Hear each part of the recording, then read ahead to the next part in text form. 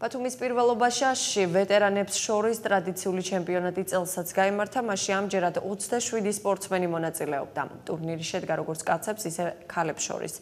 პირველი ადგილები ჯუმბერ კოკობინაძემ და ეთერ ჩავლეიშვილმა აიღეს. პრიზები გადაეცათ ჩემპიონატის ყველაზე ხანდაზმულ მონაწილეებსაც.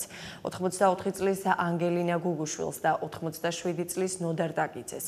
ბათუმის პირველობაშაში ყოველწლიურად აჭარის ვეტერანთა სპორტის ფედერაციისა და აჭარის სპორტის დეპარტამენტის ორგანიზებით შედეგებით ტარდება გამარჯვებულებს თასები, სიგელები და მედლები გადაეცათ.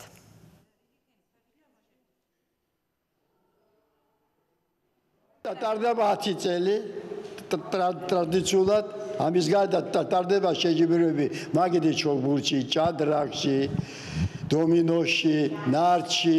ეს არის პოპულარიზაცია ამ პატისო ვეტერანების ჯანსაღი ცხოვრების განახორციელება. რამოდენიმე წელი ახებული მაქვს პირველი ადგილი, მაგრამ თამაში რა თქმა უნდა რთულია. გამარჯვებაც კარგია.